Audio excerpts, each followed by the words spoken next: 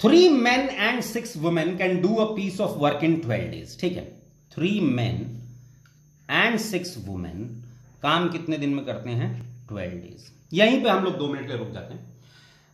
अगर मतलब अगर यही काम मुझे एक दिन में खत्म चाहिए तो मुझे ऐसी ट्वेल्व टीम्स लगानी पड़ेंगी एक ही दिन। सोचिए, पहले दिन थ्री मैन सिक्स वुमेन दूसरे दिन थ्री मैन सिक्स वुमेन ऐसा सिलसिला बारह दिन तक चलता अगर मुझे काम एक दिन में खत्म चाहिए तो बारह दिन जो लोग आ रहे थे, मैं उनको कहूँगा कि तुम एक ही दिन आ जाओ।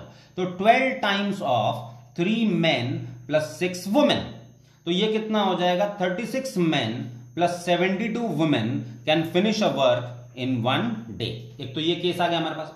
दूसरा बोलता है five man and six women can do the same work in nine days तो five man and six women can do the same work in nine days और अगर मुझे यह काम एक दिन में खत्म चाहिए तो मुझे इस वर्क फोर्स को नाइन टाइम्स बढ़ाना पड़ेगा। नौ टीमें लगानी पड़ेंगी ऐसी nine times of five man plus six women ठीक है? तो यानी 45 man plus nine six fifty four women can finish the work in one day अब आप देखिए, ये टीम काम को एक दिन में खत्म करती है और ये टीम भी काम को एक दिन में खत्म कर देती है।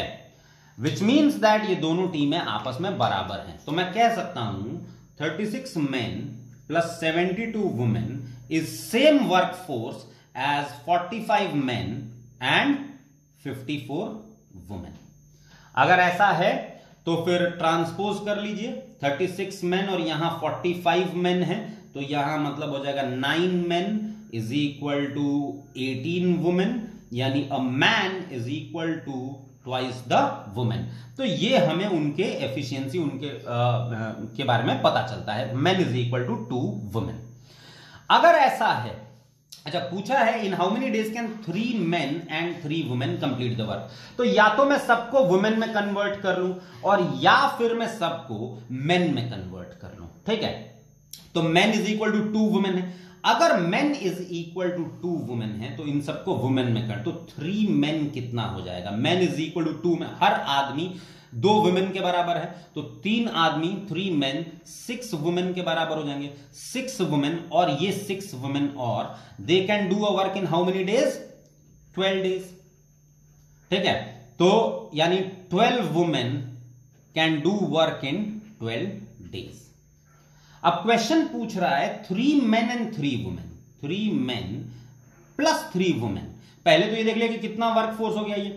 थ्री मैन और man is equal to two women तो मतलब six women plus three women मतलब ये वर्क फोर्स कितनी हो गई? नाइन वुमेन नाइन वुमेन काम को कितने दिन में खत्म करेंगे? ये देखिए, अगर ट्वेल्व वुमेन ट्वेल्व डेज़ में तो नाइन वुमेन माने वुमेन कम की तो डेज़ बढ़ना पड़ेगा तो पहली चीज़ को ट्वेल्व को नाइन बनाने के लिए कितने से मल्टीप्लाई करना पड़ेगा? नाइन बाई ट्वेल्व से मल्टीप्लाई करना पड़ेगा। अगर 9 बाई ट्वेल्व से मल्टीप्लाई करेंगे तो इस 12 को आपको कितने से मल्टीप्लाई करना पड़ जाएगा? 12 बाई नाइन से मल्टीप्लाई करना पड़ जाएगा। क्योंकि ये इनवर्स वेरिएशन का केस है। इनवर्स वेरिएशन में अगर आप यहाँ x से मल्टीप्लाई करेंगे तो यहाँ वन बाई एक्स से मल्टीप्लाई करेंगे।